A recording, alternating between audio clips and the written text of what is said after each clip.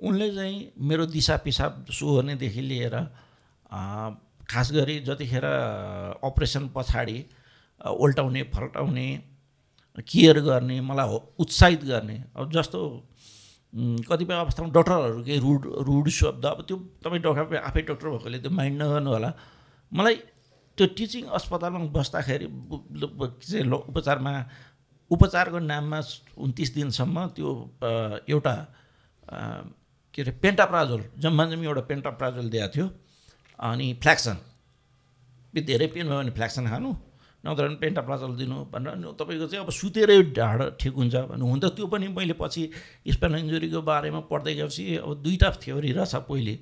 होइन अब डक्टर साहब कति सालमा चाहिँ एमएस गर्नु थाहा छैन तर पहिलेको थ्योरीले चाहिँ एउटा थ्योरीले चाहिँ के भन्दो रहेछ भनेदेखि अब स्पाइनल इन्जुरी भइसके पछाडि चाहिँ यसको ढाड आफै जोडिन्छ।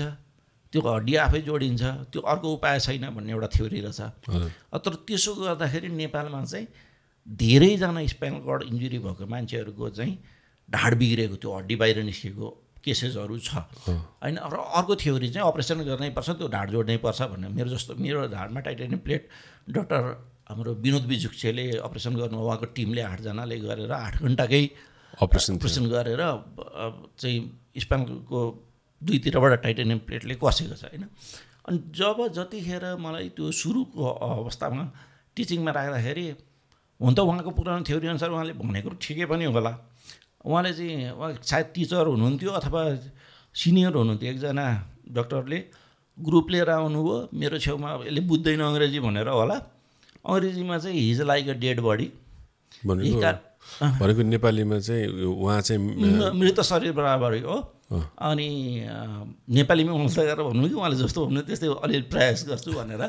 अनि उहाँले अङ्ग्रेजीमा के भन्नुभयो भने आफ्नो स्टुडेन्टहरूलाई यो स्पेनकट इन्जुरी भनेको एकदमै जटिल प्रकृतिको मान्छे हो। अनि यो चाहिँ बाँच्दैनन् यस्ता मान्छेहरू प्रायः जस्तो हो। अब यसको चाहिँ जिन्दगी अब सुतेरै बित्छ भन्नु त्यो दिन चाहिँ हामी बुढाबुढी अँगालो मारेर रातभरि रोएको थियौँ। होइन एउटा त्यो चाहिँ मनमा पिन्च भएको थियो होइन।